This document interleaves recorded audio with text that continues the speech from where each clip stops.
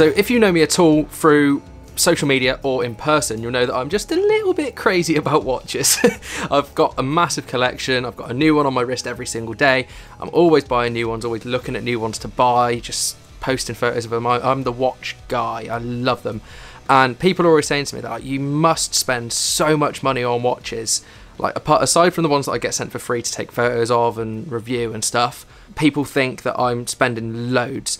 And yeah, there is watches out there that cost you like your soul to be able to own but it doesn't mean that you can't get some amazing watches from these micro brand companies in the watch industry, which the majority of my watches are from. And it just goes to show that you can get an insane watch for less than a thousand pound. So, what we're going to do today is I'm going to run through three watches I think are budget, so under a thousand pound, I would say is budget for watches. And I'm going to talk to you a little bit about these watches, a little bit about the companies, and show you the watches. And I'll prove to you that you don't need to spend at least five grand on a Rolex to have a luxury, high quality, reliable watch. So the first company we're going to talk about today is the company that made the watch that I'm actually wearing on my wrist right now, and they're called Carpenter Watches. They're a company based in New York. They make amazing, what I would probably say are more dress watches than anything else, because yeah, they are solid, and we'll talk more about that in a bit.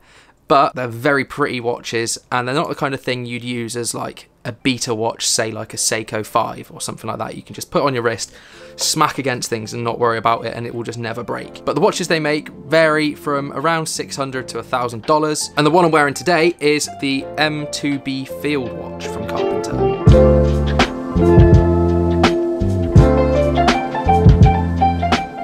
So it's a 40mm watch in a stainless steel case with a sapphire crystal exhibition back a double dome sapphire crystal on the top, and a Miyota 812A 21 jewel automatic movement in it. So the movement is beautiful, just hacks around the face, just hacks straight around all day, every day. It's also glow in the dark, which is really handy so you can actually see what time it is when you're out in the middle of the night doing things you probably shouldn't be doing. And then out of the box, it comes with a genuine leather strap.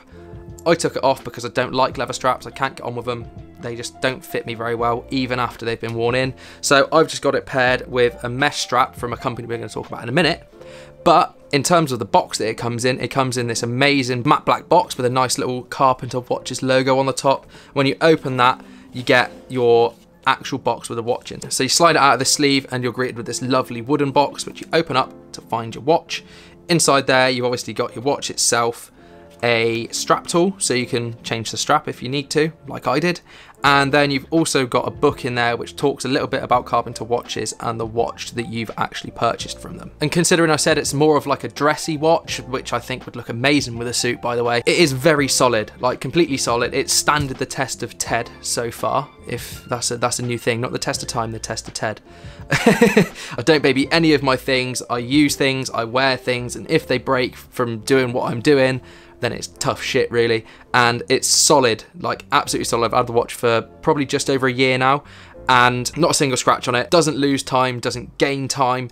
It's completely perfect. So if you're looking for sort of like a more dressy sort of looking watch that's still solid and you've got a budget of around, I think it's £595, then I'd 100% say that you should look into buying a watch from Carpenter Watches because they've got some amazing pieces.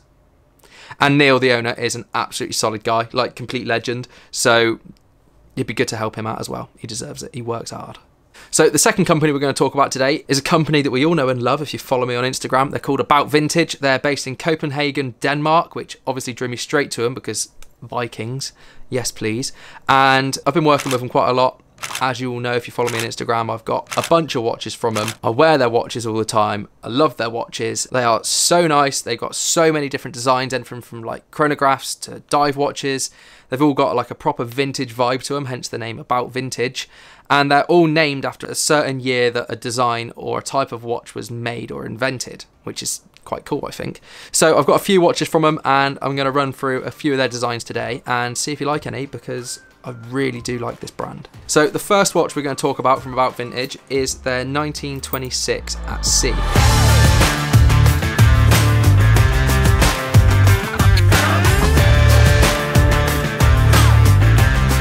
This one is a steel steel blue version. They've got loads of different colours in this watch. I just went for this one because I just liked it. It stood out to me the most. This one in particular is in a 38 millimeter stainless steel case, so it's quite small, but they have just released a line of I think 40 and 42 millimeter ones as well. So if you like a bigger watch, they now make bigger ones.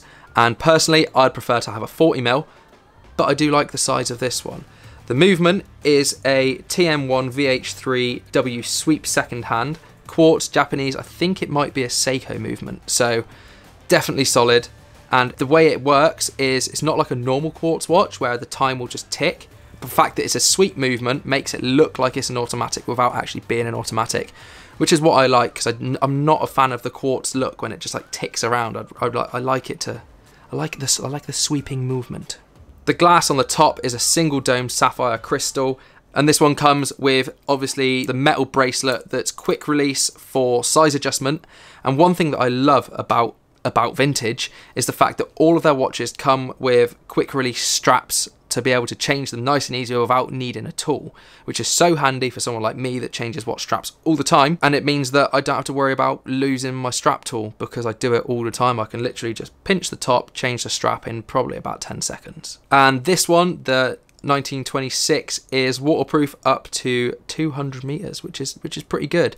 Because if you're going further than 200 meters down, then you're, pretty hardcore. I mean, I probably can't hold my breath long enough to be able to go more than five meters down.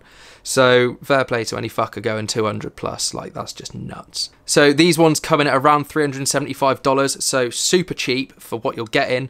I'd put these in like a beater category because I've beat the shit out of this. Like I've been walking around, smacked it on things, not on purpose, obviously, but like you know when you're walking through a door, say, and you smack it on the door frame, and you're like, oh no, my watch, but you look at it and it's completely fine, runs perfectly, beautiful little watch. And I would highly recommend it to anyone. And the next watch that we're going to talk about from About Vintage is again a 1926, but it's their 1926 automatic. So this one's a little bit more expensive because of the automatic movement. It comes in at $625 and it does have a slightly different design.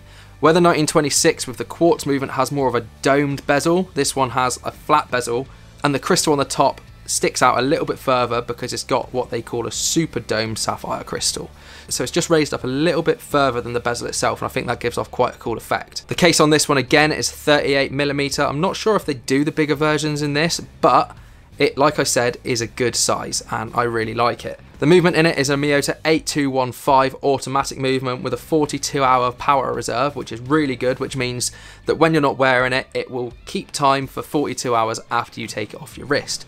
And if you don't know automatic watches, then you don't know that you have to wind them up basically to get them to work, because you have to get the movements moving again in order for the watch to move essentially.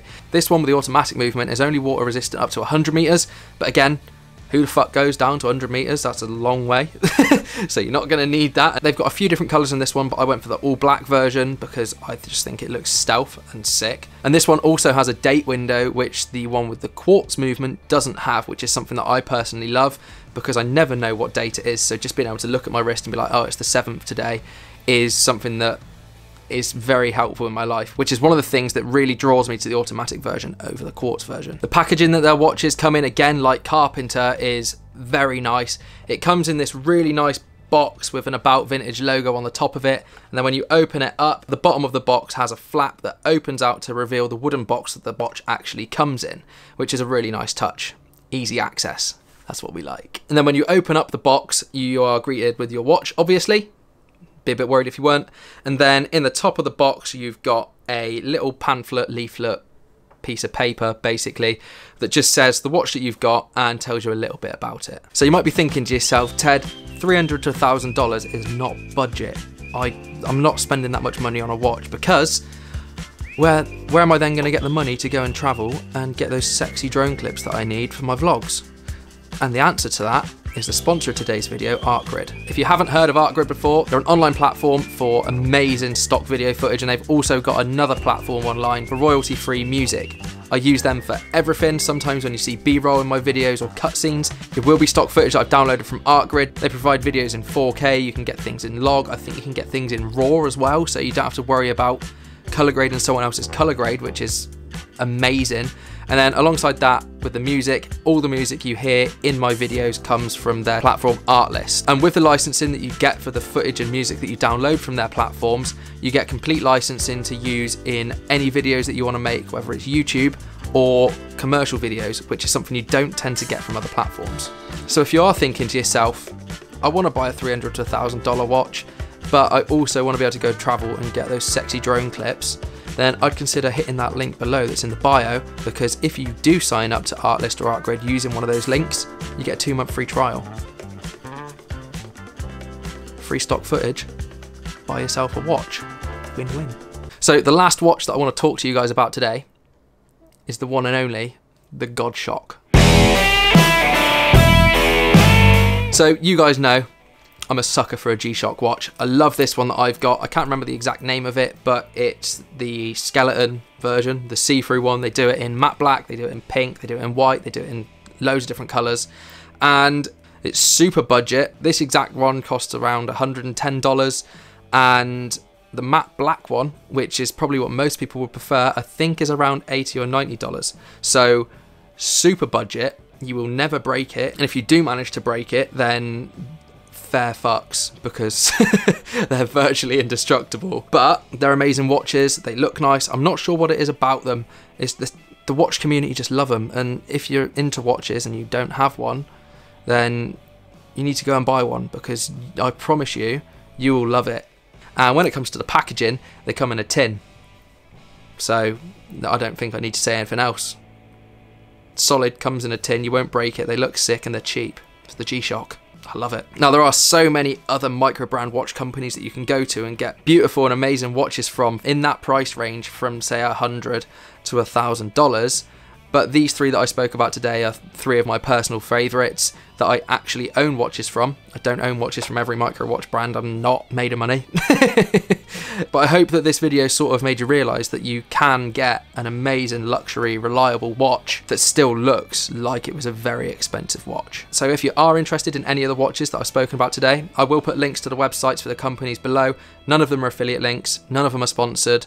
They're just genuinely companies that I do like the watches from and believe do deserve support in growing their name because they make some amazing stuff. But that's it, that covers everything. So if you enjoyed the video, make sure you drop me a like because apparently it makes my video do better. Leave me a comment of what your favourite current micro brand watches, if you've got any, any that I might not know about. I'm always interested in finding new watches. And if you want to see more videos on watches and anything like that, make sure you subscribe because there's plenty more coming. And on that note, I'll see you next week. See you later.